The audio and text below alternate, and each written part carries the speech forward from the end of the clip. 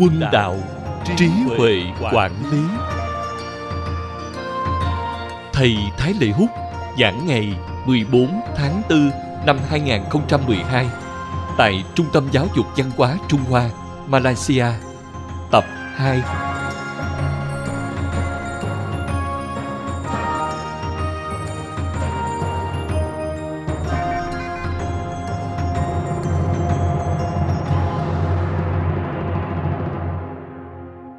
Kính chào Hiệu trưởng Lý Kính chào các vị hiệu trưởng, đồng đạo Xin chào mọi người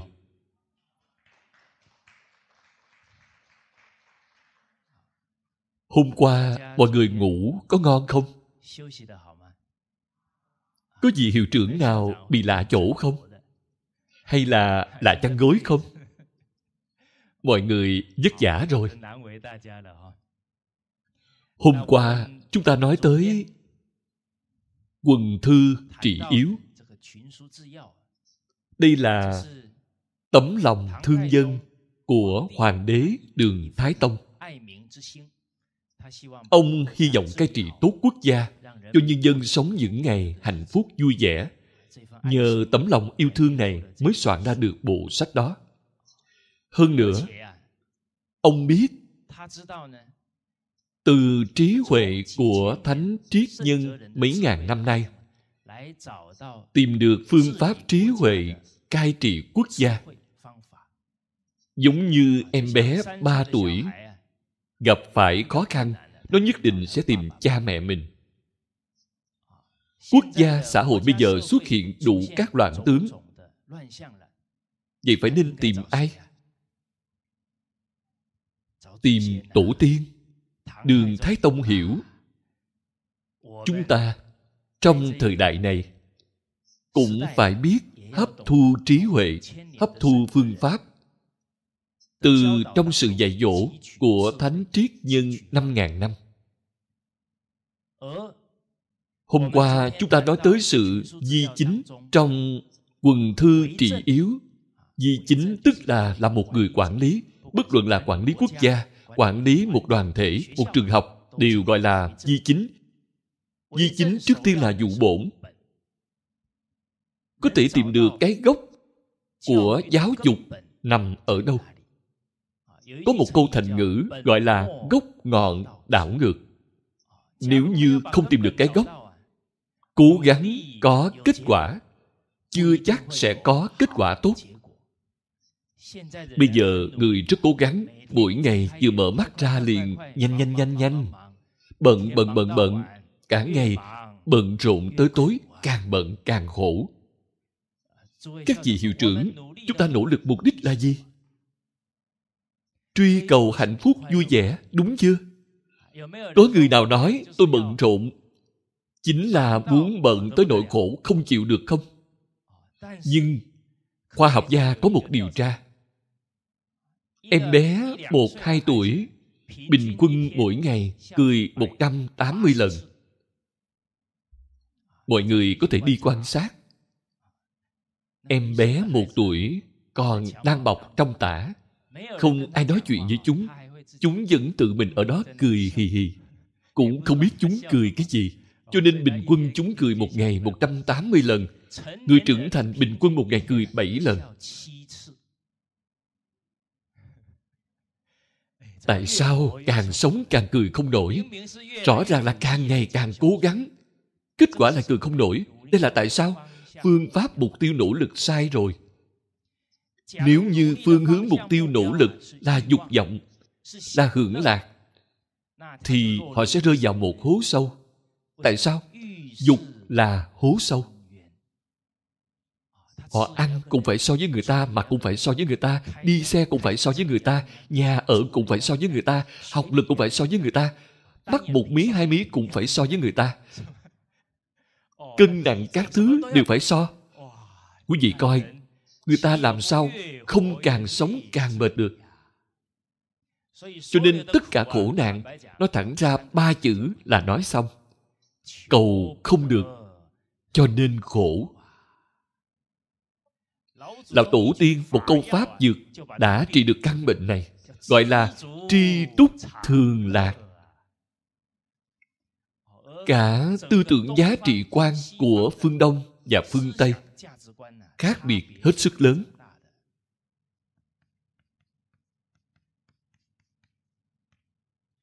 Trên thực tế, phương tây bây giờ, chúng ta nói tới, đều không phải là văn hóa ưu tú của phương tây đều là những thứ gì ở phương tây hình thành trong hai, ba trăm năm nay? Chủ nghĩa, công lợi, cả nhân loại bị chiến hạm đại pháo đánh quay cuồng đầu óc. Đánh tới sau cùng đều cảm thấy vũ lực là quan trọng nhất. Nhưng mọi người phải bình tĩnh. Khổng lão phu tử để lại một câu nói, chỉ còn coi thời đại này, chúng ta làm sao ấn chứng câu nói này? Gọi là thủy tác dũng giả, kỳ vô hậu hồ. Từ dũng này là chỉ một người thợ, đã làm một người nộm để đi tùy tán, làm rất là giống giống với người thật y như đúc. Người như vậy sẽ gây ra tác dụng phụ như thế nào? Sau này thật sự sẽ có quý tộc đem người thật đi tùy tán. Cho nên cái này tức là nói những việc họ làm nếu như ảnh hưởng rất lớn, tội nghiệp họ sẽ gây ra sẽ hết sức nhiều. Mọi người để ý coi, nhân vật quần chúng chỉ cần làm những việc trái nghịch đạo đức quá nhiều, họ đều sẽ đoạn mạng. Các vị hiệu trưởng, chỉ cần để ý đến rất nhiều minh tinh có phong khí không tốt trong giới showbiz. Căn bản là điều đoạn mạng. Con người chúng ta bây giờ quá bận rộn, đều không để tâm đi quan sát những hiện tượng này. Thật ra chân lý nằm ở đâu? Chân lý ở ngay xung quanh chúng ta. Thật ra, có thể dụng tâm quan sát những đạo lý này đều có thể nhìn hiểu được. Còn về những minh tinh nào thì tôi không nói nữa do họ có rất nhiều fans. Tôi nói ra thì họ sẽ tới gây phiền phức cho tôi. Cái này tôi có phần đối phó không nổi. Tôi đối với họ không có bất kỳ ý kiến gì. Tôi chỉ là muốn nói ra chân lý mà thôi.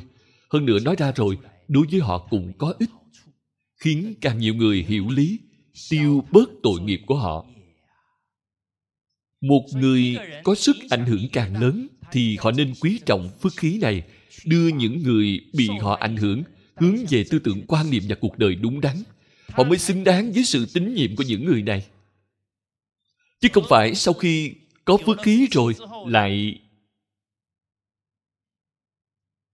mặc ý làm bừa, thậm chí căn bản không đặt luân lý đạo đức của lão tổ tiên trong tâm mình.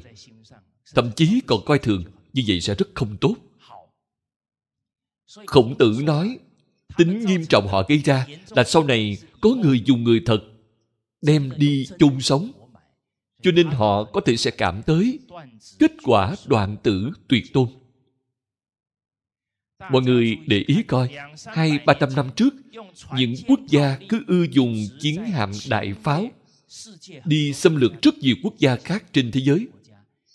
Bây giờ bị thiên tai chiếm tỷ lệ cao nhất toàn thế giới mọi người bình tâm quan sát. Nếu như những người này vẫn không quay đầu, vẫn tiếp tục phát triển chiến hạm đại pháo của họ, con người giải quyết họ không được. Ông trời sẽ giải quyết họ. Người tính không bằng trời tính. Hơn nữa, những quốc gia này, trên thực tế, ông trời đã cho họ cơ hội hết lần này tới lần khác. Đã có rất nhiều thánh triết nhân, rất nhiều người rất có học vấn trên thế giới này vẫn luôn khuyên răng họ buông bỏ vũ lực coi trọng đạo đức. Nhưng họ đến hiện tại trước mắt vẫn chưa chịu quay đầu. Cho nên từ quốc gia, từ thế giới, những nhân vật quần chúng này, thật ra đều đang nhắc nhở chúng ta. Chúng ta nhìn thấy những chiến hạm đại pháo của phương tây là thứ hai ba trăm năm nay lớn mạnh lên còn trong sáu trăm năm trước, khi thời minh cường thịnh trịnh hòa xuống tây dương, không xâm chiếm một tất đất của người ta. Hơn nữa, còn đem văn hóa, đem trí huệ của lão tổ tiên và cả phương pháp mưu sinh cống hiến vô tư cho tất cả những bạn bè, dân tộc quốc tế mà ông tiếp xúc được. Trịnh Hòa 600 năm trước đã đem văn hóa truyền thống của chúng ta thực hành trong sự ngoại giao 600 năm sau còn có ảnh hưởng không? Còn 600 năm sau Hán học viện xây dựng ở Malacca có liên quan gì tới Trịnh Hòa không? Có liên quan. Hồi đó, khi Hán học viện đồng thổ, Thủ tướng Najib đã nói, những nước khác như Bồ Đào Nha, họ chỉ có mấy chục cái thuyền mà thôi. Sau khi tới đã chiếm lĩnh vùng đất này, Trịnh Hòa có mấy trăm cái thuyền và hơn 20.000 người đã đến tặng những món quà này cho chúng ta, lại không cưỡng chiếm lãnh thổ của chúng ta. Đây đều là tổ tiên chúng ta đã đem sự giáo huấn của lão tổ tiên thực sự biểu diễn ra. Cho nên dân tộc này của chúng ta là dùng luân lý đạo đức khởi gia. Có hậu phước. Nhà tích điều thiện, ắt có niềm vui. Nhưng tại sao thời cận đại, gia đình người dân chúng ta lại xuất hiện vô số vấn đề? Một câu nói đã thấu triệt hết, gọi là không nghe lời người già, chịu thiệt ngay trước mắt đem giáo huấn của lão tổ tiên. Dứt bỏ đi vấn đề căn bản ở đâu? Đánh mất lòng tự tin dân tộc. Cho nên cái gốc này hôm qua, chúng ta nói tới hiếu là gốc, đức là gốc.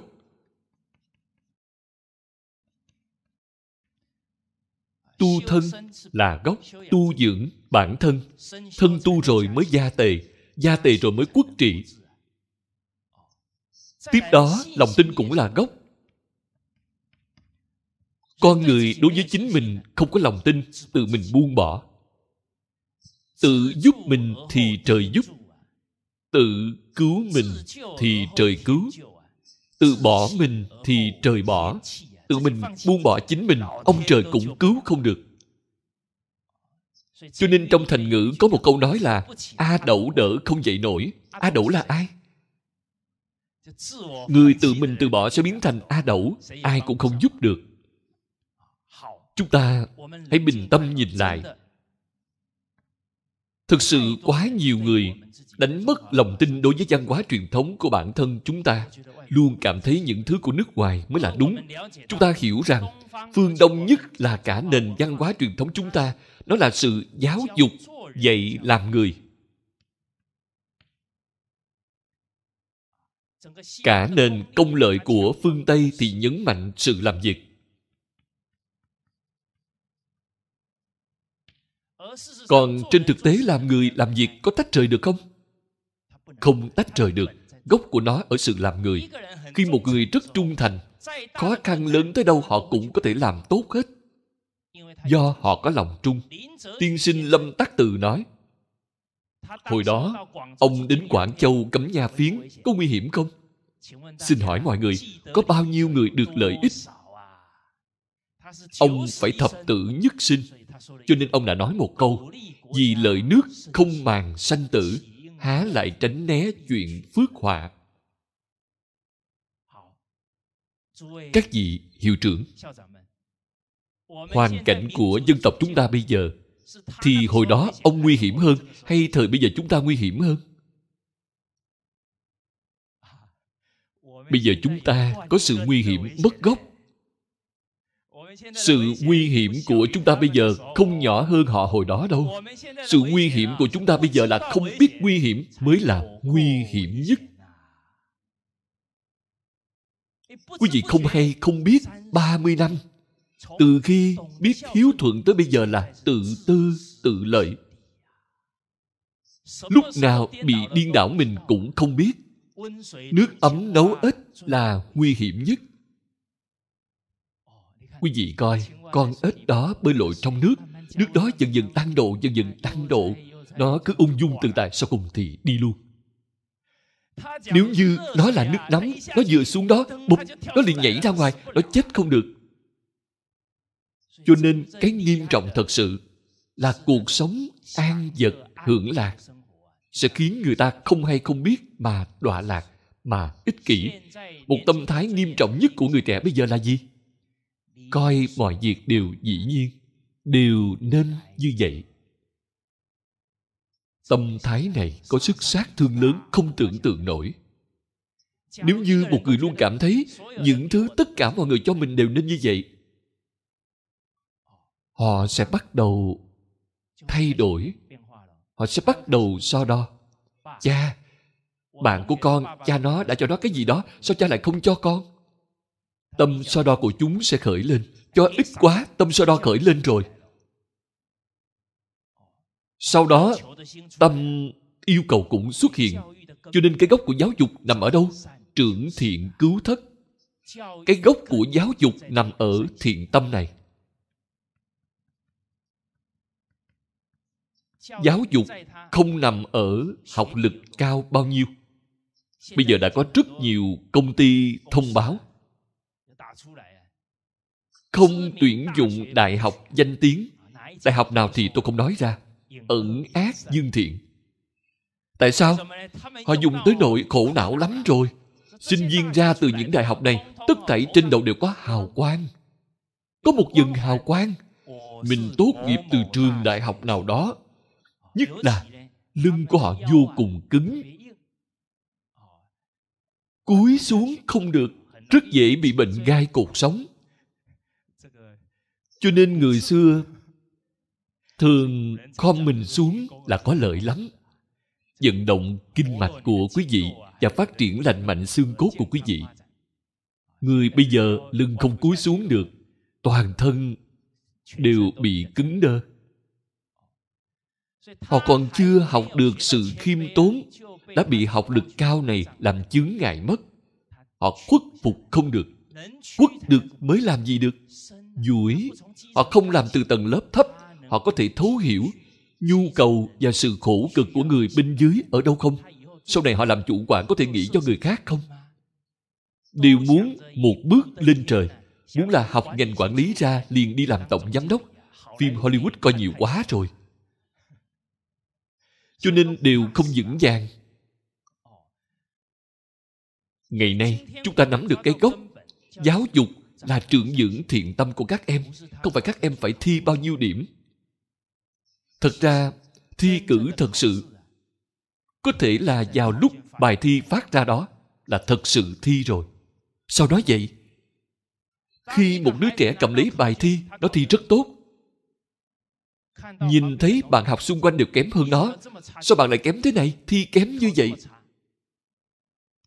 Nó đã bắt đầu ngạo mạn rồi nó sẽ coi thường người ta thi không tốt. Quý vị nói nó thi được 100 điểm. Là thất bại hay là thành công? Bây giờ sinh viên đại học tự sát rất nhiều em là từ nhỏ tới lớn đều học đứng thứ nhất. Tại sao? tâm được mất của các em dần dần ngày càng nặng. các em không thể thua được nhưng vấn đề là những em này sau khi nhảy lầu tự tử, thầy cô giáo và cha mẹ các em đều không biết tại sao các em chết. Tại sao? Do thứ mà cha mẹ và thầy cô nhìn thấy là gì? Là thành tích của các em. Có nhìn thấy tâm của các em không? Không nhìn thấy. Cho nên, chúng ta bây giờ đều không nhìn thấy cái gốc. Một đứa trẻ sau này hạnh phúc hay không là do tâm các em quyết định. Các em có biết ơn không? Các em có biết đủ không? Các em có tâm giúp người không? Chứ không phải học lực của các em, không phải điều kiện bên ngoài của các em. Chúng ta phải tìm được cái gốc của hạnh phúc mới có thể cho các em hạnh phúc. Có một phóng viên hỏi một học sinh tiểu học đạt giải nhất cuộc thi đàn piano. Ồ, em nhận được giải lớn, có phần thưởng, có tiền thưởng. Em muốn làm việc gì nhất? Em nhỏ này không cần suy nghĩ mà nói ngay. Em muốn đập nát cái đàn đó đi. Quý vị coi, em đánh đàn piano cũng là bị ép bị ép. Con nhất định phải đạt giải nhất cho mẹ. Đã ép tới nỗi em muốn đập nát cái đàn đó đi. Nhưng mẹ em mỗi ngày dẫn ra ngoài. Con gái tôi đạt giải nhất piano họ còn ở đó, hưởng thụ tâm hư dinh của mình nghệ thuật là dùng để bồi dưỡng tính tình, không phải dùng để truy danh trục lợi. Sau cùng, em bé này thật sự nhân cách của em cũng có vấn đề. Cho nên, tìm cái gốc này rất quan trọng. Lúc nãy chúng tôi vừa nói với mọi người, chúng ta bây giờ đối mặt với nguy cơ dân tộc, còn nguy hiểm hơn cả lâm tác từ hồi đó lâm tắc từ hồi đó còn không sợ sống chết. Chúng ta bây giờ lại chết không được. Đúng chưa? Lại không bị nguy hiểm tính mạng, có làm không? Quý vị phối hợp một chút, có làm không? Các vị hiệu trưởng, quý vị đều cẩn thận lời nói hành động. Ngoài ra, những lời đã nói ra, khi nói năng, tính đứng đầu, làm trước, nói sau điều này là tinh thần rất quan trọng của văn hóa truyền thống. Cái này rất tốt. Chúng ta nhìn thấy, quý vị coi lâm công này. Ông ấy có tâm thương người. Ông bị lưu đày tới tân cương một anh hùng cứu dân tộc còn bị lưu đày. Do hồi đó có gian thần.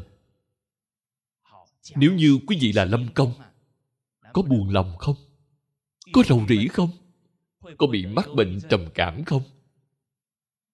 Lâm công không chỉ không mắc bệnh trầm cảm. Trên đoạn đường, ông bị lưu đày đó. Đi ngang hà nam. Ông còn để ý tới nhân tài dùng đó. Còn tiến cử một nhân tài quan trọng. Hơn nữa, nhân tài này là nhân tài trụ cột trong cả trung tâm triều thanh sau này tức là khi ông bị lưu đày, không chỉ không buồn rầu, lúc nào cũng suy nghĩ cho đất nước. Ở miếu đường trên cao vẫn lo cho dân, ở giang hồ xa xôi vẫn lo cho quân. Thời thời luôn nghĩ về quốc quân, nghĩ về cả nhân dân lão ba tánh. Hồi đó, giếng ngầm tới tỉnh tân cương. Tới bây giờ vẫn còn dùng. Công trình thủy lợi của ông, một hai trăm năm vẫn còn dùng cây cầu thái tương kiến của phú kiến bảy tám trăm năm, bây giờ vẫn còn dùng. Hơn nữa nói cho mọi người nghe, cầu đó không có đóng đinh nha. Quý vị coi người bây giờ chưa chắc làm được mấy cây cầu. Mấy công trình mà hồi xưa người ta làm. Hơn nữa, tiên sinh lâm tắc từ, hồi đó đem tiêu hủy hết toàn bộ nha phiến, không gây ô nhiễm môi trường. Cho nên, một người có chân tâm kiên cường bất khuất, phương pháp sẽ xuất hiện. Họ có sự diệu dụng dạng biến vô cùng. Cho nên tại sao lão tổ tiên chúng ta coi trọng sự làm người? Rất nhiều tiềm lực chỉ cần họ có lòng trung hiếu đều sẽ được kích phát ra. Đọc sách chí ở thánh hiền. Mục đích đọc sách là chí ở thánh hiền cả chủ nghĩa công lợi đọc sách chí ở kiếm tiền. Sự khác biệt này khác nhau hết sức lớn. Tiên sinh tôn trung sơn có một câu nói hết sức quan trọng, nhưng lại bị coi nhẹ. Tiên sinh tôn trung sơn đã học xuyên suốt cổ kim trung ngoại. Ông nói rằng, phương tây ngoài tri thức kỹ thuật ra, máy móc của họ vượt hơn trung hoa còn những thứ khác đều phải học với trung hoa. Câu nói này chúng ta chưa nghe hiểu sao? Chúng ta là cái gì cũng học. cho nên lòng tự tin dân tộc cứ vậy mà bị đánh mất cả trí huệ chính trị cũng phải học với phương đông. Cho nên cứ học theo phương tây bây giờ chính khách cả thế giới nhiều một đống. Thật ra mà nói có thể gọi là chính trị tiền bạc. Tại sao? Tố chất con người không đủ. Họ không chịu nổi sự cám dỗ. Sau cùng đều cấu kết với tập đoàn tài chính, cho nên gọi là chính trị tiền bạc. Tôi không nói ra quốc gia nào. Quý vị không cần phải liên tưởng. Nhưng chúng ta nhìn phải hiểu. Chúng ta mới dạy thế hệ sau hiểu rõ. Lão tổ tiên nói với chúng ta, người còn chế độ còn, người mất, chế độ mất chính trị ở tại người. Muốn làm tốt sự quản lý làm tốt chính trị phải có nhân tài. chúng ta đã tốn thời gian một hai trăm năm để nghiên cứu chế độ. Cảm thấy chỉ cần có chế độ có pháp luật thì có thể giải quyết vấn đề. Đây là điều đang xoay vòng trên cành ngọn. Phải tìm cái gốc. Chúng ta nhìn thấy phương đông trung y nói giải độc trung y nói, phòng ngừa quan trọng hơn trị liệu. Họ muốn hóa giải đi. Họ phải giải quyết vấn đề từ gốc rễ. Tây y nói cái gì? Sát khuẩn. Có giống nhau không? Không giống nhau. Hơn nữa đều là giải quyết triệu chứng. Phương đông giải quyết vấn đề từ gốc rễ. Ngày nay quý vị bị ung thư. Ở đâu có ung thư? Cắt đi. Triệu chứng giải quyết xong đã giải quyết vấn đề chưa? Do quý vị hễ động sát, đem nó cắt đi. Tổn hại thân thể có lớn không? Rất là lớn. Hơn nữa có bảo đảm sau này không bị lại không? Không bảo đảm được. Thật ra mọi người bình tâm nghĩ lại, cơ thể có một cơ chế.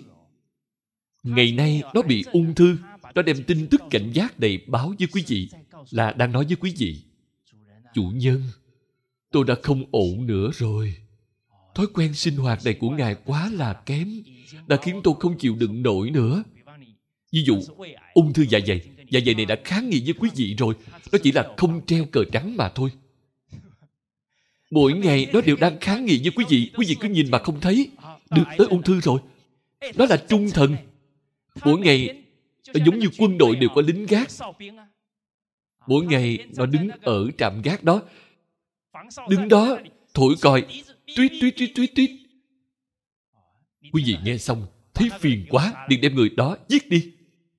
Nó đang cảnh cáo quý vị có nguy hiểm, quý vị còn đem nó giết đi. Vậy chúng ta chẳng phải đã giết chết trung thần rồi sao?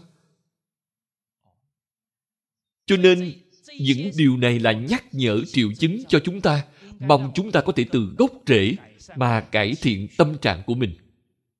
Hôm qua, y đạo có một câu rất quan trọng, dùng thuốc quan trọng còn có việc quan trọng hơn cả dùng thuốc là gì? Kiểm soát tâm trạng. Mọi người có nhớ không? Cái này đều là gốc rễ. Kiểm soát tốt tâm trạng. Khi đó, ăn uống, ngủ nghỉ. Những sinh hoạt này đều phải điều chỉnh tốt. Nó có thể từ sự bình thường vốn có biến thành bệnh tật. Nó cũng có thể từ bệnh tật điều chỉnh lại bình thường cái này đều là chỗ khác biệt giữa tư duy đông tây. Phương đông dùng đức hạnh giải quyết vấn đề, phương tây dùng pháp luật giải quyết vấn đề. Mọi người bình tâm. Bây giờ khu vực pháp luật nhiều nhất, cặn kẽ nhất, có thể lại là nơi có tỷ lệ phạm tội cao nhất.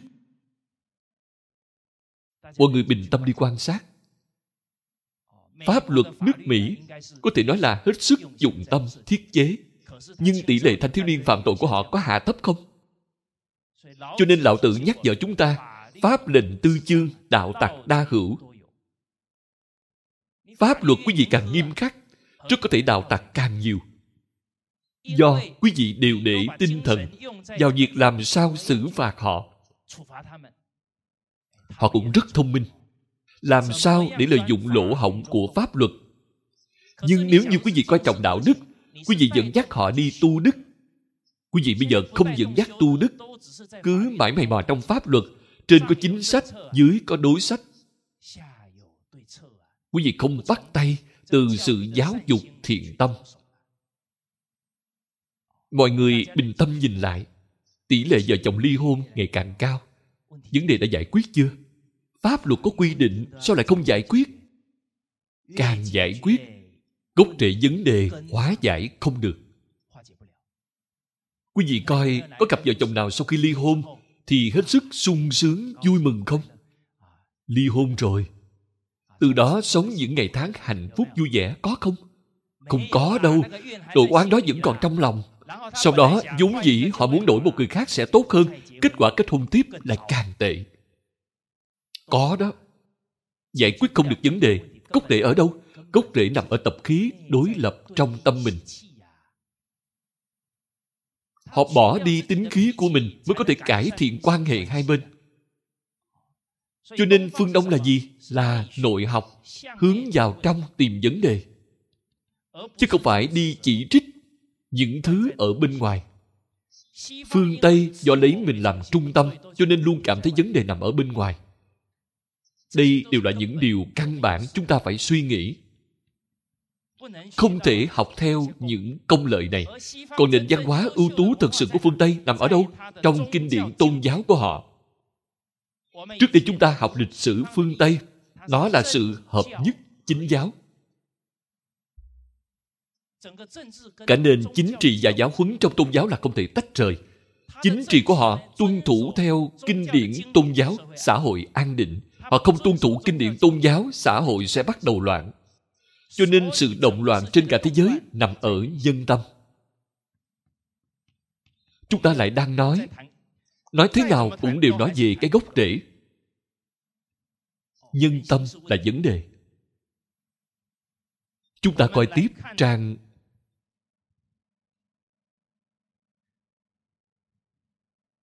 164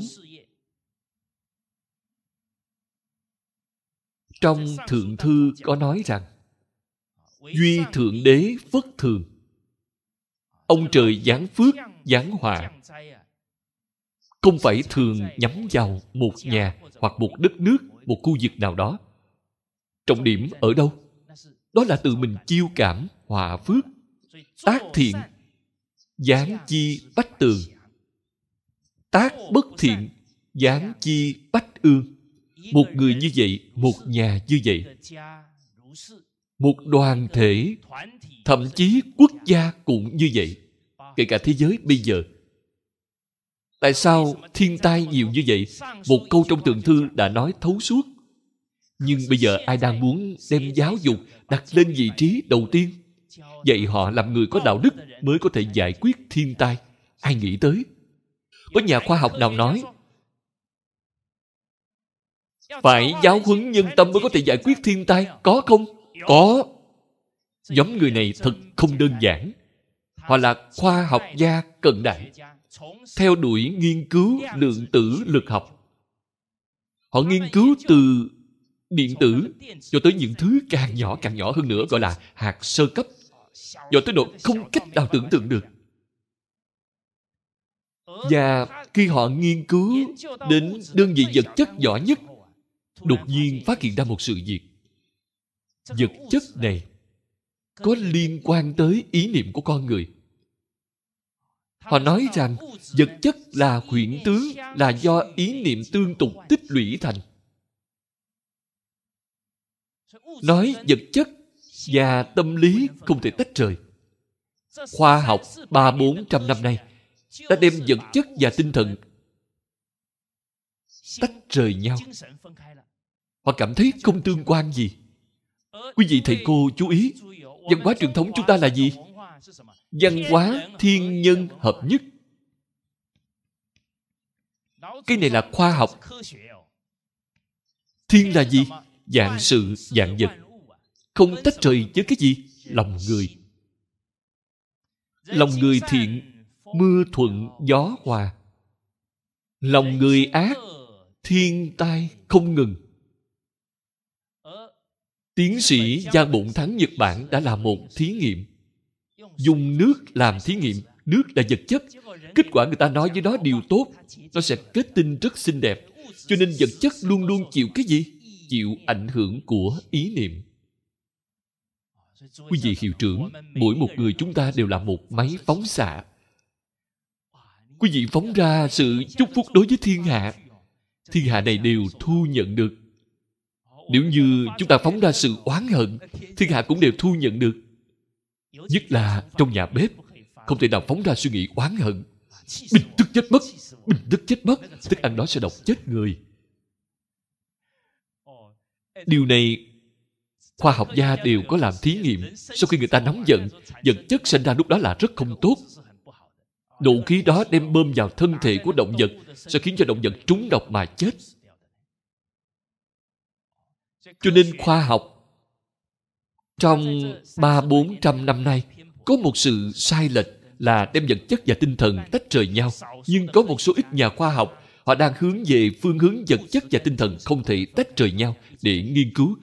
Bây giờ dần dần đã sắp nghiên cứu ra được. Sẽ có một sự đột phá mở ra thời đại mới. Sẽ chứng minh lời lão tổ tiên chúng ta nói thiên nhân hợp nhất là đúng.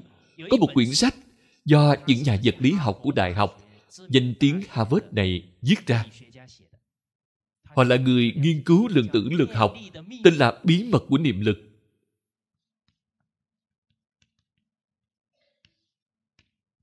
Bí mật của niệm lực, Quyển sách này mua được rồi Mọi người có thể mua về nhà coi Nó nói là Dĩ tâm khống vật Ý niệm tâm niệm của con người Có thể ảnh hưởng tới cả vật chất. Ví dụ thành ngữ nói Người gặp việc vui tinh thần sảng khoái Ưu sầu khiến người già cỗi.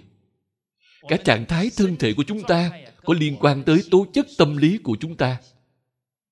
Hơn nữa họ nghiên cứu thấy Rất nhiều người mắc ung thư Sau cùng trị khỏi bệnh Không cần uống thuốc nhờ vào gì Ý niệm của họ Chúng tôi nghe thấy có người mắc bệnh ung thư. Bác sĩ nói tôi chỉ còn nửa năm thôi. Họ liền buông bỏ tất cả, đi làm nghĩa công. Kết quả mỗi ngày đều coi như ngày cuối cùng mà tận tâm tận lực giúp đỡ người khác. Họ cũng không nghĩ về bệnh tật nữa. Nửa tháng sau, bác sĩ hỏi người này có còn sống không? Sau đó liên lạc họ tới kiểm tra lại. Hết bệnh rồi. Họ không nghĩ về bệnh bệnh liền không còn. Họ luôn nghĩ về người khác, họ có tâm nhân ái, họ là vô úy bố thí được khỏe mạnh, sống lâu. Không chỉ ý niệm của bản thân có thể chuyển biến sức khỏe của chính mình. Nước Anh có một em bé học lớp 4 tiểu học. Một em bé gái, mẹ của em mắc bệnh ung thư. Kết quả em bé gái này mỗi ngày đều viết một lá thư cho mẹ của mình. Đều là cảm ơn mẹ em, chúc phúc mẹ em, mỗi ngày viết một lá thư bầu bạn cùng mẹ em. Mẹ em là mẹ đơn thân. Cho nên người mẹ này rất khổ, phải nuôi hai đứa con. Đứa con gái này của bà mỗi ngày chúc phúc mẹ mình, mỗi ngày viết một bức thư. Sau cùng khoảng sau hơn nửa năm, đi tái khám. Ung thư của mẹ em cũng không còn nữa. Em luôn phát ra ý niệm tốt cho mẹ mình và mẹ em có đứa con gái hiếu thuận như vậy. Mỗi ngày tâm trạng ngày càng tốt hơn, bình tình cũng biến mất. Phương đông chúng ta vẫn rất coi trọng tầng lớp tinh thần. Lúc nãy có nói với mọi người, chúng ta thấy được những câu kinh này, đều có thể giải quyết vấn đề thế giới, vấn đề của mỗi cá nhân và gia đình. Những điều này của lão tổ tiên thật quý báu. Vậy chúng ta biết làm thiện gián trăm điều lành, nhân tâm phải biết hành thiện, họ mới có thể thay đổi vận mệnh được nhân tâm làm sao biết hành thiện? Phải giáo dục. Quý vị hiệu trưởng, có biết tôi nói cả buổi như vậy sau cùng muốn nói làm gì không? Chứng minh một điểm. Cả thế giới, ngành nghề quan trọng nhất chính là giáo dục. Quý vị bây giờ nhiều tiền tới đâu? Nhiều vũ lực tới đâu? Nhiều những thứ gọi là khả năng ngoại giao. Pháp luật tới đâu? Tất thảy đều không giải quyết được vấn đề tất cả căn bản đều là vấn đề nhân tâm, chỉ có thông qua giáo hóa. Người không học thì không biết, người không học không biết nghĩa. Người bây giờ chính là không biết đạo nghĩa tự tư tự lợi mới có nhiều tai họa như vậy.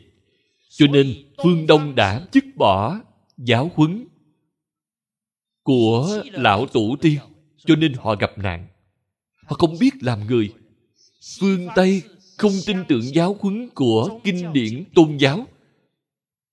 Cho nên họ mới gặp nạn lớn như vậy. Đây là vấn đề căn bản. Người phương đông, phương tây đều không có lòng tin với những giáo huấn này. Cho nên chúng ta nói tới sau cùng lòng tin rất quan trọng. Xin hỏi mọi người, làm sao để khiến người đời khôi phục lòng tin? Lúc này, chúng ta liền nghĩ tới một câu nói khổng tử nói rằng, người có thể hoàng đạo. Không phải đạo hoàng người. Chúng ta ngày nay đem quần thư trị yếu, in một ngàn bộ. Sau đó quần thư trị yếu liền phát huy được rỡ rồi sao? Không thể nào. Không phải quý vị có kinh sách rồi. Liền có thể hoàng dương được đạo. Phải nhờ ai? Con người đem giáo huấn trong kinh điển làm ra được mới khiến cho người ta tin tưởng. Nếu không người bây giờ đều cảm thấy cái đó đều là những thứ thời cổ đại rồi hiện đại không cách nào thích hợp nữa. Không cần nói người khác. Bản thân chúng ta có tin tưởng những giáo huấn này của lão tổ tiên không? Có tin tưởng không? Tin tưởng tốt tin tưởng 50%, 80%, hay 100%, hay là 10.000 Vâng phần trăm. Điều này đều có ảnh hưởng. Chúng ta có niềm tin đầy đủ mới có thể đem niềm tin này lưu truyền ra. Bản thân của chúng ta cũng bán tính bán nghi. Quý vị truyền ra, có thể người ta cũng không thể nào có niềm tin được. Quý vị hiệu trưởng, bây giờ nghi ngờ là điều bình thường do người mấy thời đại này của chúng ta đều không phải rất thâm nhập bản thân coi rồi có lúc cũng rất nghi ngờ nhưng nghi ngờ cũng không sao đệ tử quy nói với chúng ta, có nghi hoặc, phải ghi chú, gặp người hỏi, cầu giải thích. Chúng ta trao đổi với những người chí đồng đạo hợp, làm sáng tỏ rõ ràng những nghi hoặc này.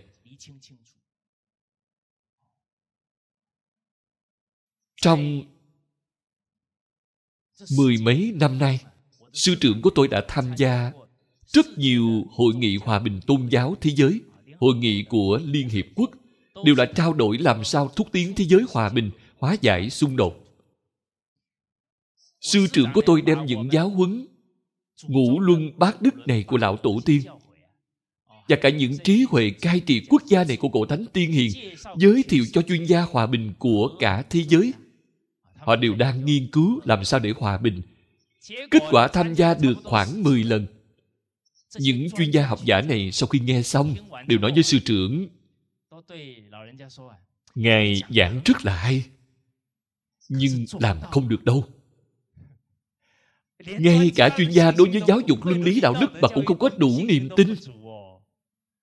Cho nên sư trưởng tôi nói điều này nghiêm trọng. Còn nghiêm trọng hơn cả nguy cơ tài chính là nguy cơ niềm tin. Ngay cả niềm tin cũng không còn nữa sau đó bị những chuyên gia liên hiệp quốc này bức ép ra điều gì bắt buộc làm một thí nghiệm chứng minh giáo dục luân lý đạo đức trong thời đại bây giờ là có ích ở quê hương của mình ngài đã thành lập trung tâm giáo dục văn hóa truyền thống lô giang cùng bốn vạn tám ngàn lão ba tánh trong vùng Hoàng Dương đệ tử quy, Hoàng Dương hiếu đạo. Dùng đó trong vòng một năm tỷ lệ ly hôn, tỷ lệ phạm tội nhanh chóng giảm thấp. Tỷ lệ ly hôn giảm được một nửa. Hơn nữa, những người ly hôn khác đều là không sống ở than trì. Do họ làm việc bên ngoài nên mới ly hôn. Quay về làm thủ tục ly hôn. Người sống ở than trì thì chúng tôi chưa nghe nói. Sau khi học xong đệ tử quy mà vẫn ly hôn, không có cho nên nhân tâm là thiện sau khi họ được giáo dục thì được nhắc nhở lương tâm của họ sẽ trỗi dậy đạo nghĩa của họ sẽ trỗi dậy họ sẽ không muốn tiếp tục làm sai. Thậm chí có người cãi nhau. Cán bộ hòa giải của khu vực đó đã nói với họ, anh chị học đệ tử quy rồi mà còn cãi. Hai người đó ngại quá, đi đi về. Nghĩa là sao? Con người đều có tâm hổ thẹn. Cho nên chúng ta bây giờ phải khiến đại chúng có niềm tin, phải có tấm gương.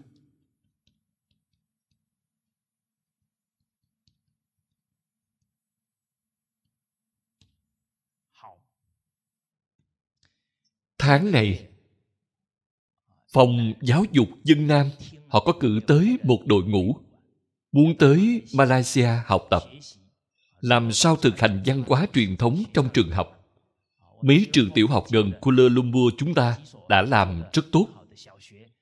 Kể cả trung học độc lập Trung Linh Tân Thành của Bắc Mã, họ đều muốn đi tham quan. Đây tức là sức mạnh của tấm gương. Malaysia chúng ta bây giờ thực hành văn hóa truyền thống đã ảnh hưởng tới tổ quốc rồi. Thời thế hiện nay, không ta còn ai. phải có khí khái này của mạnh tử cho nên ngành giáo dục của malaysia chúng ta giáo dục hoa văn trên cả thế giới là độc nhất vô nhị sao lại là độc nhất vô nhị vì toàn bộ con em người hoa trên toàn cầu đều học địa tử quy học văn hóa truyền thống. việc này trong thế giới người hoa thì chưa nhìn thấy. Phải không? Đúng vậy. chúng ta phải nghĩ rằng 30 năm sau toàn bộ người hoa thế hệ sau của malaysia đều biết đọc văn ngôn văn biết đọc quần thư trì yếu. Sau đó hãy mở miệng liền nói khổng tử nói. Quý vị hiệu trưởng quý vị đang kiến công lập nghiệp cho dân tộc. Bây giờ vất vả một chút cũng không sao. Người thế hệ này ngay cả văn ngôn cũng coi không hiểu. Dùng văn bạch thoại để viết bài thì sai sót tràn lan. Quý vị coi cả trình độ xuống dốc nhanh như vậy, không thể xuống tiếp được. Phải mau chóng ngăn chặn, nâng cao nâng cao lên. Có nguyện ác thành, chúng ta có chí hướng này rồi, nhất định có thể thành tựu chúng ta lại coi tiếp ảnh hưởng của sự công lợi lớn bao nhiêu. Hôm qua, chúng ta coi y đạo có một đoạn nói rằng, tay của đại phu, thậm chí còn đáng sợ hơn cả giả thú có độc. Và lưỡi dao, võ sĩ. Thật ra sự lệch lạc tư tưởng chắc chắn còn đáng sợ hơn bất kỳ thứ gì khác. Có một câu nói đã biên soạn vào giáo trình đại học là mục đích duy nhất của doanh nghiệp là kiếm được lợi nhuận.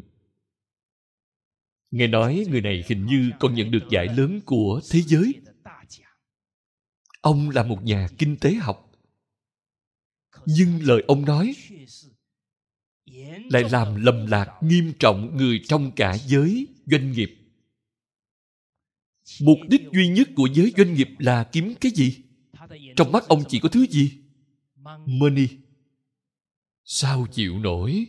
Cho nên quý vị thấy doanh nghiệp gì kiếm tiền mà khiến thế giới tự nhiên đã ô nhiễm tới mức độ nào rồi? Rất nhiều chuyên gia đi điều tra bây giờ muốn điều chỉnh lại những con sông ô nhiễm đem tất cả số tiền mà họ kiếm được ra cũng chưa chắc có thể điều chỉnh lại được. Nhưng một câu nói sai lầm này đã ảnh hưởng tất cả điện đường đại học. Trong một hai trăm năm nay gần đây mới nói doanh nghiệp phải nên có trách nhiệm xã hội đạo nghĩa xã hội. Cho nên không nghe lời của thánh nhân liền bị những tà sư này làm lầm lạc loài người bao nhiêu năm tháng? Nhưng vấn đề là sau khi lầm lạc, muốn níu lại thì có dễ không? Thế giới bây giờ đều cảm thấy hình như nói về cái lợi là việc rất là bình thường. Bây giờ vợ chồng, trước khi kết hôn thì công chứng tài sản trước. Chia rõ ràng trước.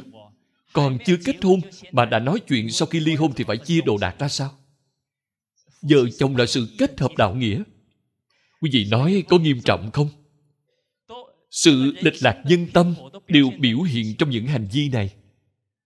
Không hề biết hôn nghĩa trong văn hóa truyền thống.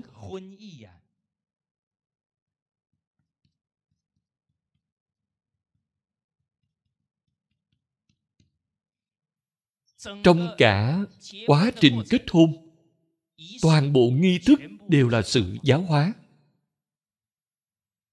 người chồng sau khi rước vợ của mình về vào cửa là uống rượu giao bôi. Rượu giao bôi đó là làm từ cùng một trái hồ lô cắt làm hai nửa. Thịt của trái hồ lô thì đắng đựng trong đó là rượu ngọt. Sau đó sau khi vợ chồng bước vào thì uống rượu giao bôi trước. Một ly đó uống vào rồi cả tấm lòng cũng không như trước nữa. Tại sao thịt của nó thì đắng, lại đựng rượu ngọt. Thể hiện điều gì? Đồng cam, cộng khổ. Hơn nữa lại là cùng một cái hồ lô, vốn dĩ đã là một thể, không thể phân chia. Cho nên uống nó vào gọi là đồng cam, cộng khổ, không phân ta người. Đó là sự kết hợp đạo nghĩa. Cả đời gặp phải khó khăn lớn tới đâu, tuyệt đối không có một ý niệm nói là phải ly hôn người bây giờ động một chút là muốn ly hôn, còn có người buổi sáng kết hôn buổi chiều liền đi ly hôn. Những chuyện này mấy trăm năm trước, nhìn vào thật sự là chuyện không thể nào xảy ra. Đây đều là sự giáo dục văn hóa. Nhưng bây giờ lại thiếu sót. Bây giờ một hôn để có ý nghĩa như vậy cũng không còn. Bây giờ là làm gì? Mời một số cô gái ăn mặc rất hở hang tới đó nhảy nhót. Sau đó còn lý giày cao gót rót rượu vào bảo chú rể uống. Quý vị nói người bây giờ bận rộn tới nỗi sầu muộn tới mức nhất định phải đi trêu ghẹo người khác. Như vậy họ mới vui sao? Cho nên văn hóa phải khôi phục. Nhân tâm mới có thể ngày càng lương thiện hồn hậu, hiểu lý.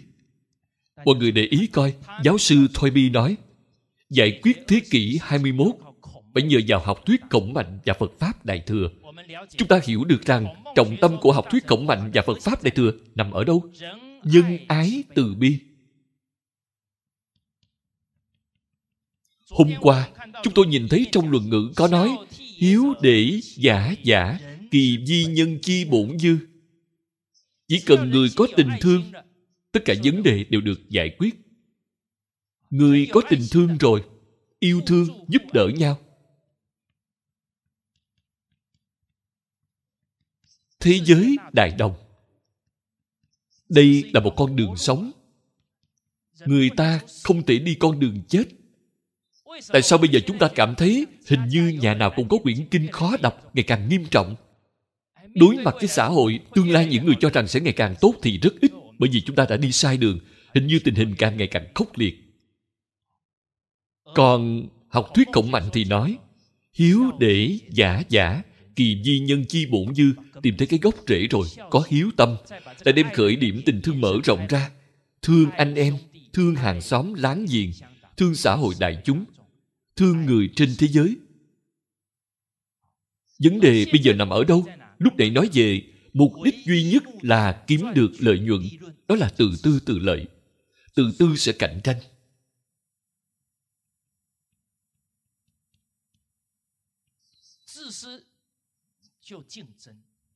Chúng ta bình tâm quan sát. trẻ con bây giờ không chịu được người khác tốt. tâm đố kỵ rất mạnh. Chúng ra ngoài làm sao không đối lập với người ta? Có một cặp chị em. người chị vừa về tới nhà nói với em gái của mình. Hôm nay có một bạn tới hỏi chị môn toán. Chị biết chị không giảng cho bạn ấy. Chị không nói cho bạn ấy người em gái nói, chị, em sẽ nói cho bạn ấy. Người chị nghe thấy em mình nói như vậy thì hơi ái ngại. Em có tình thương hơn chị. Chị, em sẽ nói cho bạn ấy. Em sẽ nói sai cho bạn ấy. Tôi còn nghe thấy một câu chuyện có thật, một học sinh tiểu học. Có một hôm nói với cha của mình, cha, bạn của con chết rồi. Con thì mất một đối thủ cạnh tranh rồi. Bạn của em gặp tai nạn. Cho nên một đứa nhỏ khi gặp phải một chuyện. Ý nghĩ đầu tiên của em khi đó là gì? Mình thiếu mất một đối thủ rồi.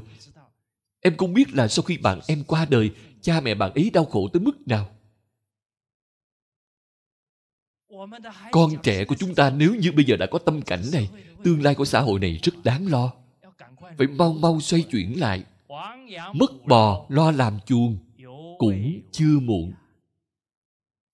Sự đấu tranh này tới sau cùng chắc chắn là chiến tranh. Còn bây giờ thời đại này không thể đánh nhau, hãy đánh thì là bom nguyên tử, bom hạt nhân, đó là ngày tận thế. Cho nên, hoàng dương văn hóa truyền thống thật ra chính là hoàng dương hiếu đạo, hoàng dương nhân ái. Giữa một niệm là hiếu, là yêu thương, hay là tự tư, tự lợi? Cho nên nói tới đây thì suy ngẫm lại, chúng ta là người làm ngành giáo dục. Chúng ta nghĩ tới người khác trước hay nghĩ tới mình trước? Người dạy học đều nghĩ tới người khác trước. Các em mỗi ngày ở bên cạnh chúng ta, tự nhiên sẽ cảm ứng được tâm nhân ái của chúng ta, sẽ học hỏi chúng ta cả sự trị loạn trong thiên hạ. Chúng ta coi trang 139. Trong phần kính thận này, trị loạn trong cương lĩnh thứ ba của chủ đề thứ năm. Câu 303 Thượng hạ giao chinh lợi, nhi quốc nguy hỷ. Mạnh tử trong hơn 2.000 năm trước đã nói không thể tranh.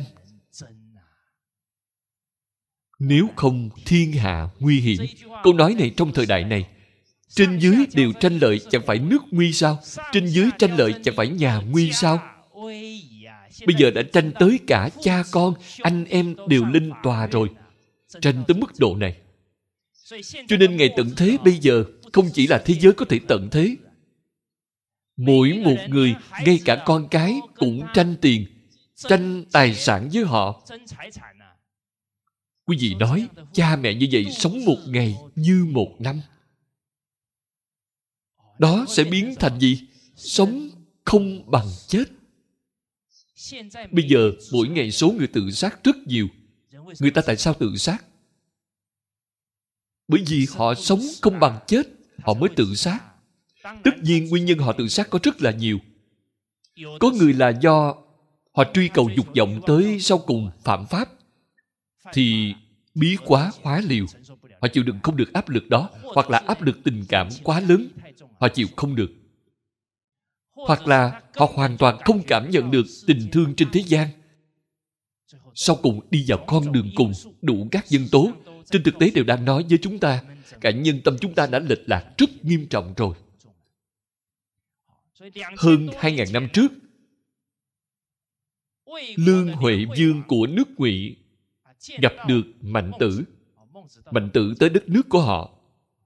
Lương huệ dương vừa gặp mặt đã nói với mạnh tử, ông cụ, ông đến nước ngụy chúng tôi, có phải là muốn cho chúng tôi lợi ích gì không?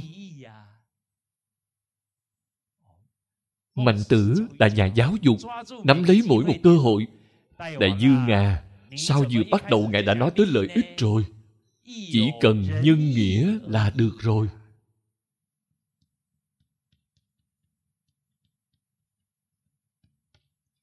Nếu như quý vị luôn nói về lợi, thì quốc gia có hàng vạn binh xe. Lật đổ được họ lại là đại phu có ngàn binh xe. Quốc gia có hàng ngàn binh xe. Lật đổ họ lại là đại phu có trăm binh xe. Đều bị người bên dưới họ lật đổ. Tại sao? Đều nói về lợi. Cho nên trên dưới đều nói về lợi. Quốc gia này sẽ rất nguy hiểm. Một câu nói của mạnh tử đã tìm ra được căn nguyên. Có trí huệ không? Cho nên tại sao nói học thuyết khổng mạnh có thể giải quyết vấn đề? Không phải là không có lý. Tiếp đó mạnh tử nói rằng vị hữu nhân. Ông thực sự có tâm nhân từ. Sao ông lại nhi di kỳ thân giả? sao ông lại từ bỏ cha mẹ của mình? Vị hữu nghĩa nhi hậu kỳ quân giả. Người có đạo nghĩa chắc chắn không đặt quốc gia lãnh đạo ở phía sau. họ sẽ đặt ở phía trước cho nên nhân nghĩa có thể hóa giải tất cả vấn đề. Cả nền giáo dục của chúng ta trọng tâm của nó là ngũ luân bát đức. Khi nào mới bắt đầu? bốn năm ngàn năm trước đã dạy như vậy rồi. Cứ truyền cho tới bây giờ. Trong mạnh tử có dạy chúng ta. quý vị coi dùng một câu giáo huấn của khổng mạnh đã có thể giải quyết vấn đề rồi. Trong mạnh tử có ghi lại vua thuấn dùng tiết làm tư đồ.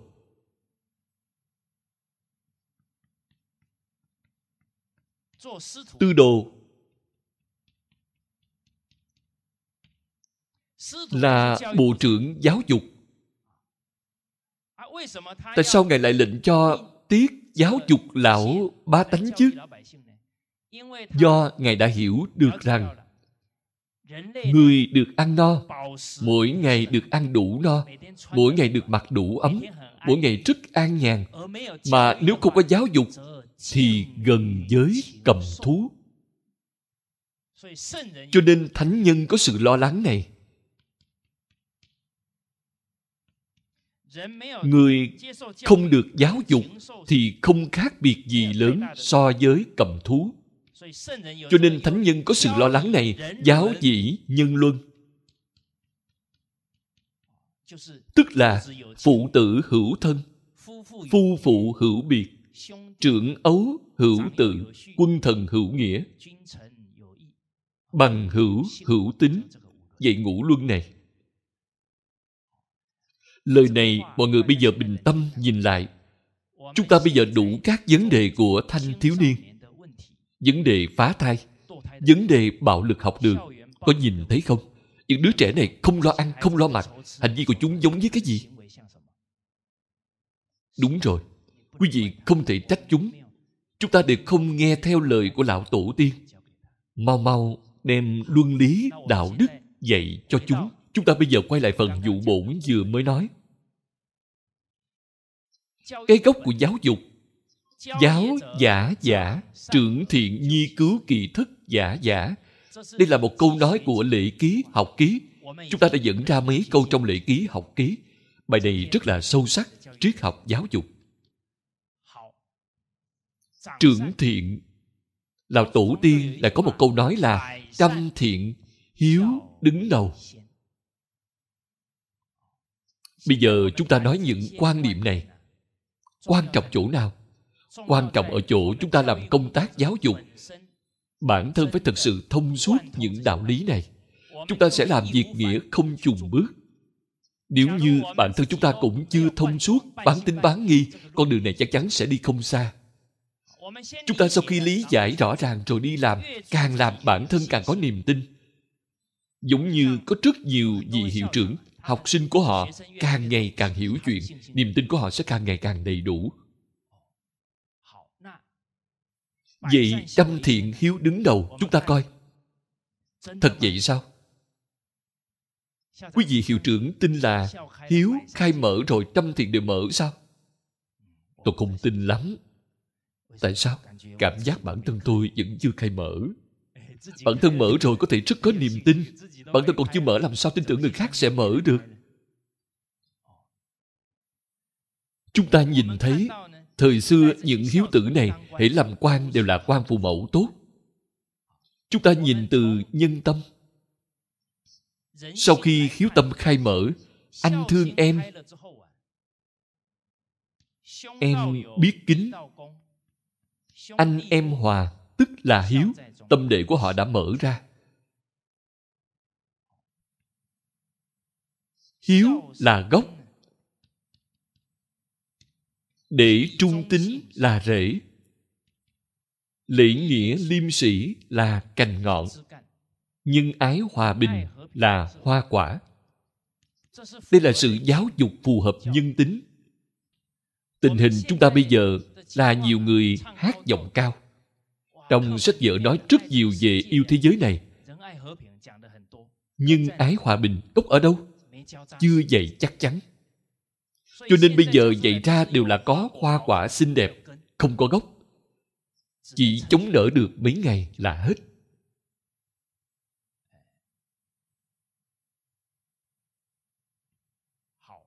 Chúng ta thấy cái hiếu này là họ đối với song thân.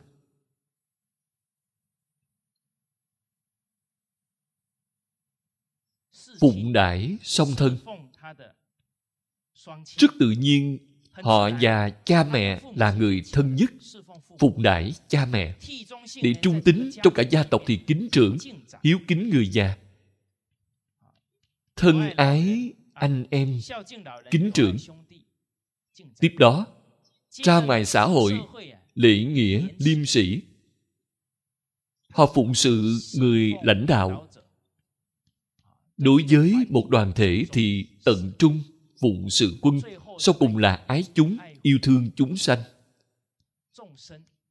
Yêu thương đại chúng xã hội.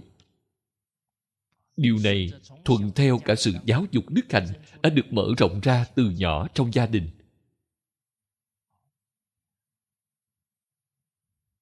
Chúng ta bình tâm nhìn lại. Để là từ hiếu mà ra anh em hòa, tức là hiếu, trung. Trung là gì? Thái độ tận tâm, tận lực.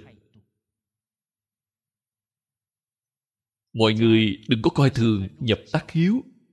Mỗi một câu đều đem đức hạnh quan trọng nhất của con người khơi gợi ra. Cha mẹ thích tận lực làm, có phải trung không? Cha mẹ hy vọng họ có thành tích tốt, có đức hạnh tốt, họ tận lực đi làm. Trung mọi người hôm qua có nhìn thấy lòng trung của bác sĩ hứa tuấn không? Đối với những việc thầy mình đã dặn dò, cả đời của ông tận lực làm cho được. Cái này chính là trung. Hiếu tâm là gốc. Hiếu là gì? Hiếu thuận cha mẹ. Hiếu thuận sư phụ của mình. Đây là gốc rễ lớn của đức hạnh. Tính cha mẹ sai, phải làm ngay. Những việc cha mẹ dặn dò phải mau mau làm xong, không thể dây dưa chần chừ. Người bây giờ những việc cha mẹ dặn dò đều dây dưa chần chừ. Những việc khách hàng giao cho lập tức đi làm. Quý vị nói đó là đức sao? Đó là tính sao? Nói cho mọi người nghe, đó không phải là tính. Đó là chỉ nhìn vô đồng tiền. Chúng ta chú ý quan sát thực sự nhìn sự việc nhất định phải nhìn thấy cái gốc. Nếu không những thứ tưởng đúng hóa sai, quá là nhiều. Đạo tổ tiên họ là thế nào? Giáo dục tánh đức. Họ tin tưởng người có minh đức, người có bổn thiện. Nhưng sự công lợi của phương tây, nó không tin tưởng con người có tánh đức này. Nó cảm thấy con người có tập tính. Cho nên nó phải thông qua pháp luật để trói buộc. Phương đông cả dân tộc chúng ta đều rất tin con người, không nghi ngờ con người. Nhưng họ không tốt mà, đó là tập tính về sau của họ. Cậu bất giáo, tính nải thiên.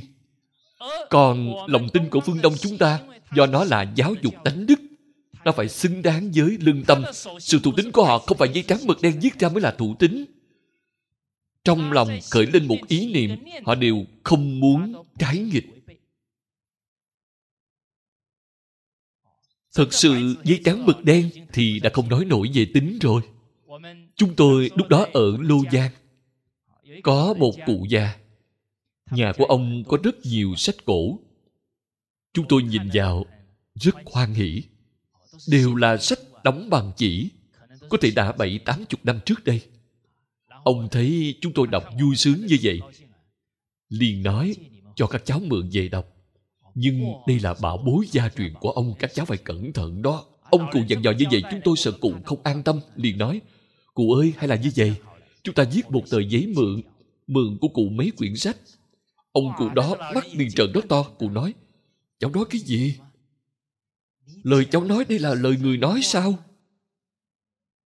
Câu nói này rất ý nghĩa. Người già người còn phải giấy trắng mực đen, thì không phải lời người nói nữa mọi người coi chữ tính này viết ra sao? Lời người nói ra chính là tính. Đây mới là lời người nói. Trái nghịch với tính thì đã trái nghịch sự làm người. Trái nghịch lương tâm rồi. Chúng ta coi mấy chục năm nay. Rất là nhiều công ty lớn. Những nhân viên cao cấp vét sạch tài sản của công ty cuốn gói bỏ trốn. Có không? Nào là ngân hàng ba lâm. Mấy công ty lớn rất nổi tiếng thế giới. Mọi người để ý coi, những chủ quản cao cấp này tốt nghiệp từ đâu? Đại học danh tiếng. Tiếp đó, cái họ gọi là sự tính dụng trước giờ. Chưa có dấu ấn gì không tốt, có tính dụng không? Không có nữa. Họ làm những việc không có tính người. Làm sao có tính dụng được? Nhưng lý lịch về họ là không khuyết điểm. Tại sao? Do đợi đến một ngày khi họ cảm thấy tín dụng có thể bán đi rồi, họ sẽ bán đi.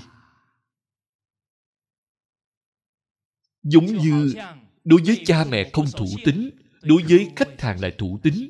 Cái tính đó là thật sao? Là giả. đó là giữ uy tín với tiền. Cho nên cái tính này không phải xuất phát từ cái tính đối với cha mẹ đó vẫn là giả. Cho nên trăm thiện hiếu đứng đầu hiếu tâm vừa mở trăm thiện đều mở. Kể cả lễ cha mẹ gọi lập tức dân. Cha mẹ dạy cung kính nghe. đây đều là lễ kính nghĩa, đạo nghĩa, đối người mất như còn sống. Tan ba năm, thường thương tiếc. Tình nghĩa sâu đậm đó của người xưa, hãy nghĩ tới ân đức của cha mẹ, liền không kìm được sự đau thương của mình. Đây là nghĩa. Ngay cả người đã khuất cũng như vậy. Không biết mọi người có đọc qua một bài văn tên là Lan Cương Thiên Biểu của Âu Dương Tu chưa? Âu Dương Tu giúp cha của mình sửa lại bi mộ. Trong đó, nhắc tới việc mẹ ông gả vào nhà cha ông. Cha của ông mỗi lần chỉ cần có thức ăn ngon thì đều thở dài. Tế chi phong bất như dưỡng chi bạc giả khi cúng tế thì thịnh soạn như vậy, không bằng sự phụng dưỡng lúc sanh tiền tiếng bần nam chúng tôi nói, sanh tiền một hạt đậu, tốt hơn chết xong cúng đầu lợn. Quý vị chết rồi có tình soạn tới đâu, thì cha mẹ cũng đã xa rồi. Sự tiếc nuối, con muốn dưỡng mà cha chẳng đợi. Mẹ của ông cảm thấy có thể là mẹ chồng mình vừa mất, cho nên chồng mình còn buồn. Nhưng mẹ của ông nói với tiên sinh âu dương tu cha của con hết cả cuộc đời, chỉ cần có đồ gì ngon cũng đều thở dài. Không thể phụng dưỡng cha mẹ của mình. Quý vị coi, tình nghĩa đó không hề suy giảm tơ hào. Nhưng quý vị, chúng ta biết được rằng, người bây giờ không phải đặt tình nghĩa lên vị trí đầu tiên, mà đặt kiếm tiền lên vị trí đầu tiên. Một người ở trong gia đình, trong gia tộc kiếm được tiền nhiều nhất chỉ cần họ đi kiếm tiền, tất cả mọi người đều mở đèn xanh cho họ. Đều phải coi nét mặt của họ, có không? Họ sẽ càng ngày càng ngạo mạn. Họ không biết họ có ngày hôm nay là nhờ sự dưỡng dục của cha mẹ, nhờ sự chăm sóc của bao nhiêu người trưởng bối. Họ bây giờ tiền nhiều xanh hống hách đông bắc có một nhà doanh nghiệp, kiếm được rất nhiều tiền, sau đó học được hiếu đạo quay trở về tính cách con người của ông cũng thẳng thắn học xong làm liền. Vừa về tới nhà liền bưng ra một thau nước nóng. Mẹ con rửa chân cho mẹ. Mẹ ông giật mình vội vã quay đi và nói um, tôi không dám để ông chủ tịch rửa chân. Trong lời nói này của bà rất có ý gì xin hỏi ai muốn rửa chân cho bà?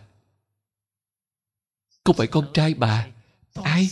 Ông chủ tịch mọi người chú ý. Thật ra, người thân của chúng ta có thể trong một câu nói rất bình thường đã nói ra hết tiếng lòng của họ. Tôi không dám để ông chủ tịch rửa chân. Con trai của bà không còn nữa, chỉ có ông chủ tịch quay về. Khi vừa về tới nhà ngượng khí đó vẫn là ông chủ tịch. Mày làm cái này, mày làm cái kia cho con. Luôn rất ngạo mạn. Cho nên, cha mẹ buồn lòng, anh chị em đều khó chịu cho nên, chúng ta diễn cái gì giống cái đó? Bên cạnh cha mẹ thì là con gái tốt, con trai tốt. Ở bên cạnh cha mẹ, không thể vẫn là ông chủ tịch, cũng không thể là hiệu trưởng. Ở bên cạnh vợ chồng mình cũng không thể là hiệu trưởng, phải là người chồng tốt, phải là người vợ tốt. Cái này mới là đã học thông văn hóa truyền thống. Diễn cái gì giống cái đó, nếu không sẽ biến thành chấp trước biến thành kẻ kiêu ngạo thì không tốt. Chúng ta sẽ bị thân phận, bị những thứ bên ngoài này làm ô nhiễm mất. Liêm vật tuy nhỏ, không cất riêng. Nếu cất riêng, cha mẹ buồn. Hệ có thứ gì đều mời ông bà ăn trước, mời cha mẹ ăn trước, họ sẽ không có lòng tham. Lục tích dấu quyết. Em bé 6 tuổi em bé còn nhỏ như vậy, em tới chơi nhà của người ta, tới chơi nhà viên thuật, nhìn thấy trái quýt mà mẹ mình thích nhất, em lấy mấy trái bỏ trong túi áo. Kết quả khi hành lễ ra về, quýt bị rớt ra ngoài. Viên thuật nói, ôi chao, có cần gì thì cứ nói với ta mà sao lại giấu đi như vậy? Em mới lo sợ mà nói, cho mẹ cháu thích ăn, muốn đem về cho mẹ cháu ăn. Em luôn nghĩ tới mẹ mình trước. Không tham là liêm sĩ tâm hổ thẹn. Đức hạnh kém cha mẹ tuổi luôn sợ hành vi của bản thân làm cha mẹ hổ thẹn. Đây là xuất phát từ cái gốc hổ thẹn của họ. Nhân đông ủ ấm hè quạt mát. Quý vị coi đặt mình vào hoàn cảnh người khác tinh tế tới vậy ái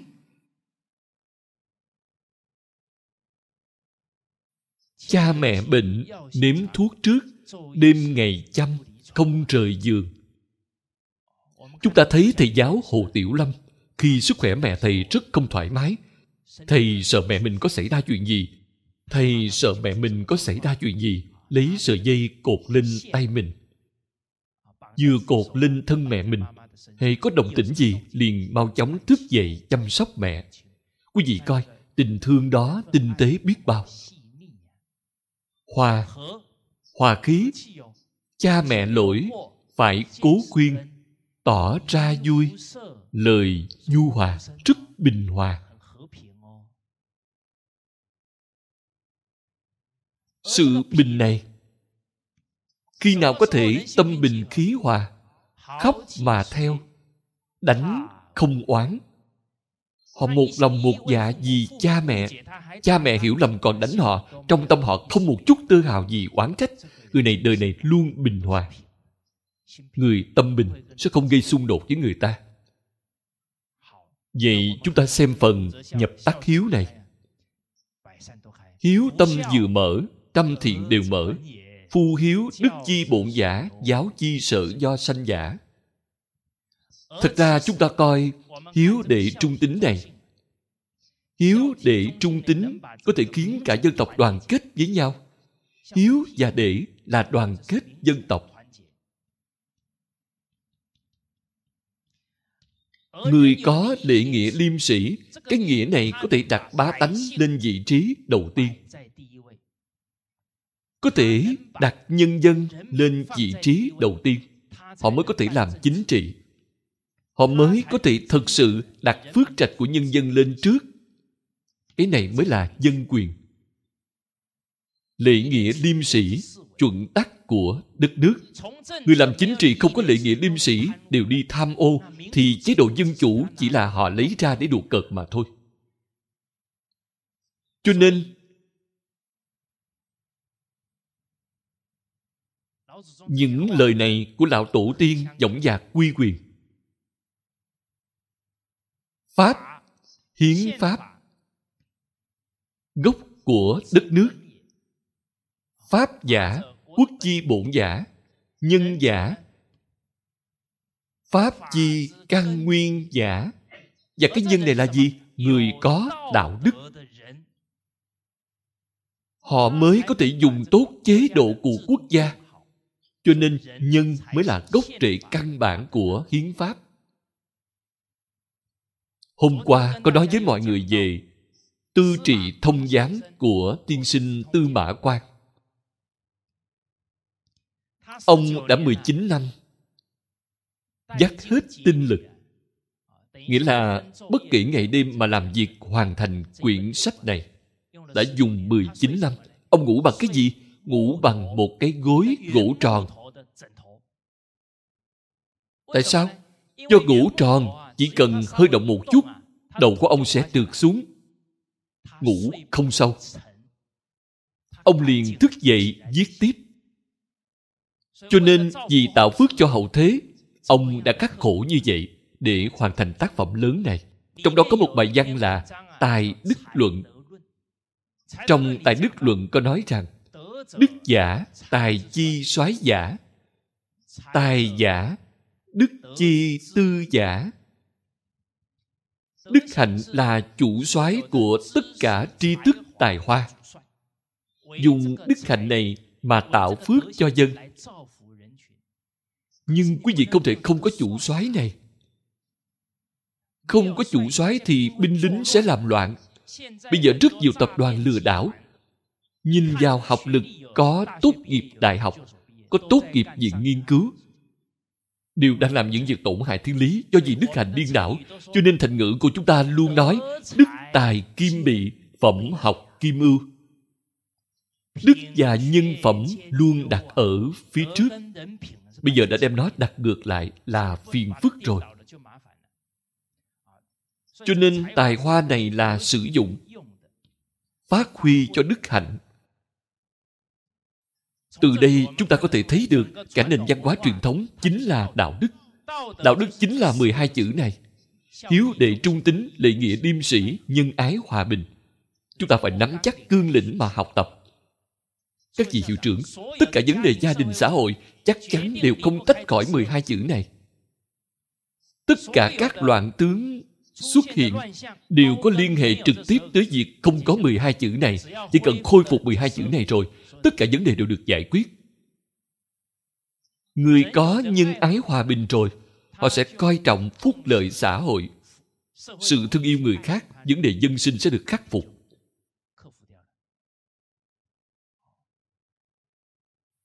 Thật ra, 12 chữ này cũng tức là một người hiếu đệ trung tính tu thân tề gia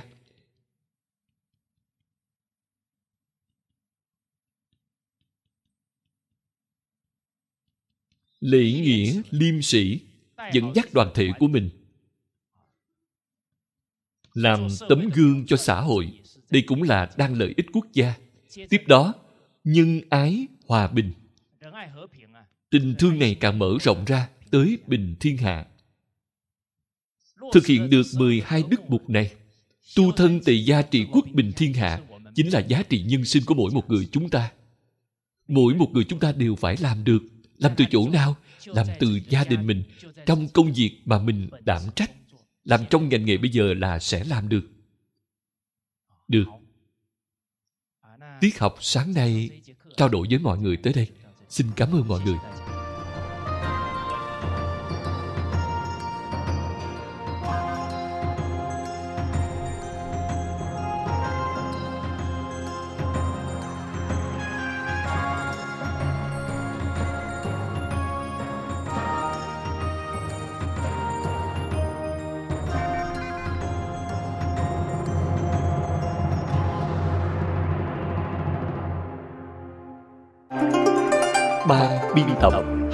Người tốt, do nhóm cả nhà học làm người tốt, thành kính cúng dường.